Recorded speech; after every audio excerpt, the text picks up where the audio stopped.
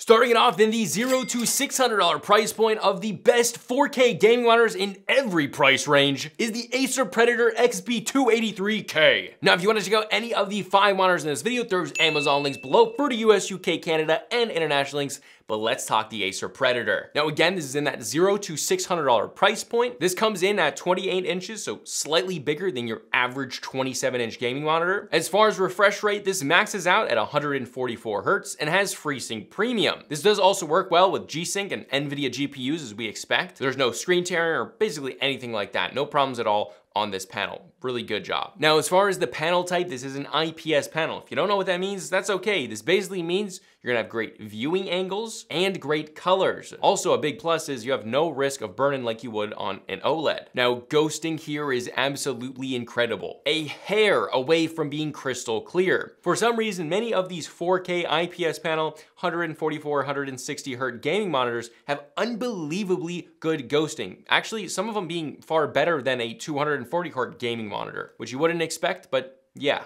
Because of this fast-paced gaming in games like COD, Battlefield, and Fortnite, it's actually extremely enjoyable. While you don't have 240 hertz here, you do have an absolutely stunningly crystal clear image, and in many games this actually gives you an advantage to seeing the enemies sooner when talking about enemies further away. In games like Arma, Hell Let Loose, and Insurgency Sandstorm, where typically the enemies are farther away and more hidden, this actually gives you a significant advantage as seeing the enemy is multiple times easier, as well the panel is just multiple times crisper. It's like upgrading your vision if real life was a screen. Now, as for brightness, this hits 360 nits in SDR after testing, which is slightly above average and is good in most situations. But the HDR here was the very surprising thing, hitting a whopping 540 nits in HDR.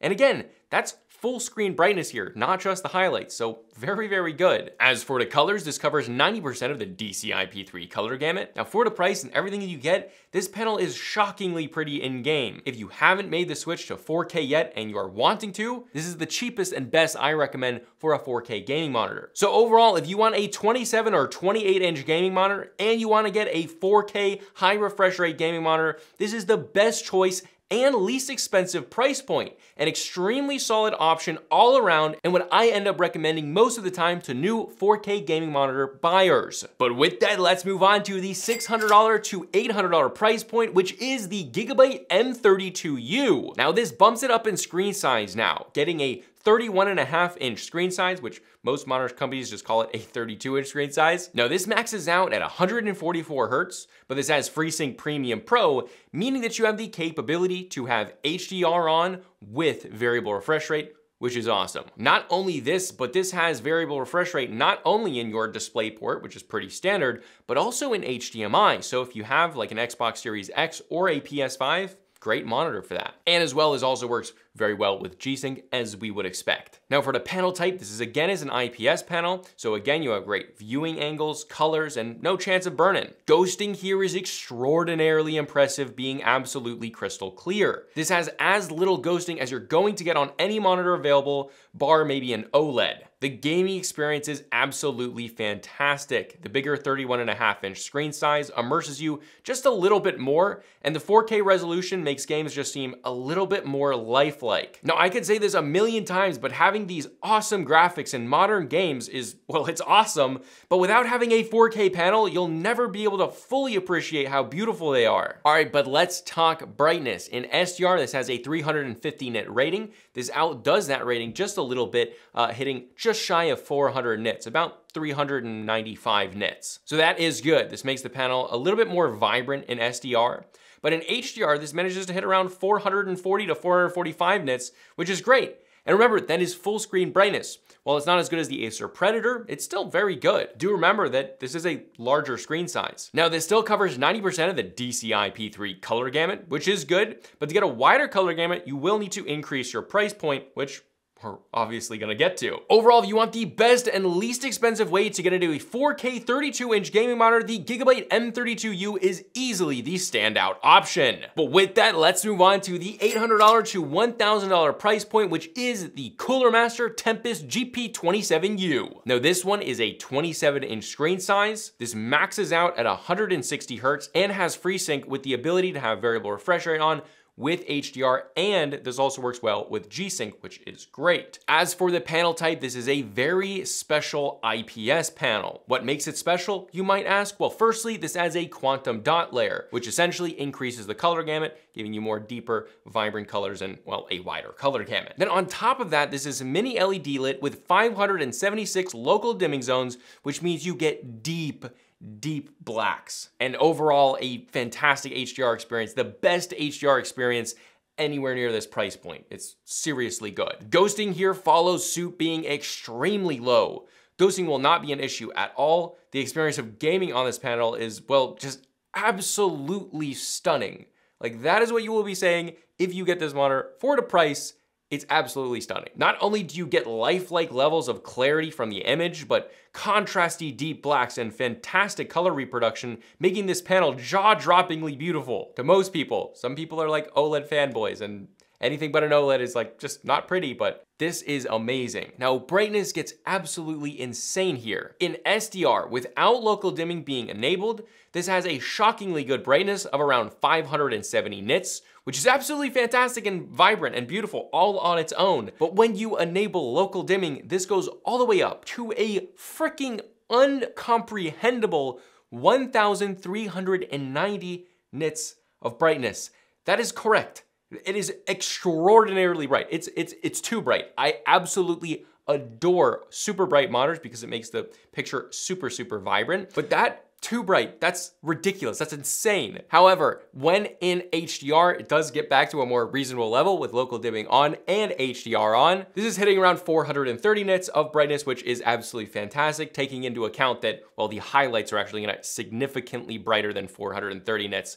Uh, so the overall experience in HDR is amazing. This is a true HDR experience. You're getting deep blacks, you're getting highlights going over a thousand nits, and you have that color gamut. So let's talk about it. 98% of the DCI-P3 color gamut partially due to that quantum dot layer. This is at a fantastic price tag that is very competitive for getting a true HDR gaming monitor that has no chance of burn-in, but black levels very close to an OLED. Impressive. Overall, if you want all of the goodness of 4K, but then want to take it a step further to get insane brightness, wide color gamut, and a super contrasty image due to the 576 local dimming zones, this is one of the most beautiful monitors you can buy under $1,000 hands down. But with that, let's move on to the 1,000 to $1,300 price point, which is the LG 32GQ950-B. Now, this is a 31 and a half inch screen size, and this hits 144 hertz natively, but it has a 160 hertz factory overclock. For variable refresh rate, this has FreeSync Premium Pro and is NVIDIA G-Sync certified. And as expected, it works flawlessly because, well, it is certified by NVIDIA, so it better. But again, the FreeSync Premium Pro allows for HDR to be on while you have your variable refresh rate on. Now, as for the panel type here, it's also a little bit special. Now, while again, this is an IPS panel, instead of having your traditional thick matte finish,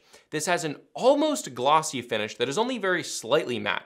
This increases the overall image quality and clarity of the display itself. Monitor enthusiasts have been asking for years to have glossy gaming monitors, but this is very, very close and well, it makes the image quality just a whole lot better. Even when comparing specs in person, most people will be attracted to this one just because, well, it doesn't have that terrible matte finish. In addition to this, this has an ATW polarizer, which I don't need to go into all the specifics. Essentially, it increases the viewing angles. The colors don't change as much when you're going from the left to the right or the up and down. Now, while most IPS panels have fantastic viewing angles, and for most people that is enough, for creatives or creators, this is a huge plus. It just increases those viewing angles even more uh, and makes essentially very, very little change happen when going to the left and the right. So this is great for gamers that are also creators or influencers that need to use Photoshop and, well, edit video. But let's talk about ghosting. It's literally crystal clear here. Besides an OLED, I do believe this is the best ghosting I've seen on any IPS panel to date. It's truly that good. The gaming experience on this is awesome. While this doesn't have any special full array local dimming, the panel itself is extremely pretty, and one of the biggest points is that it is extremely well tuned out of the box. It's factory calibrated for color. So in most situations, you'll just take this out of the box, no tuning, no adjustments needed, turn the brightness up and start gaming and that's it. This is a really, really great, well finished and polished monitor. Brightness is great here as you would expect, hitting 520 nits of brightness in SDR, which is very, very bright and vibrant. And at HDR, this is probably one of the best HDR experiences outside of an OLED or a mini LED lit IPS panel, like the Cooler Master Tempest GP27U. In HDR, this hits around 1000 nits in the highlights, and I find myself using HDR a lot to take advantage of that wide color gamut which does cover 98% of the DCI P3 color space, which is great.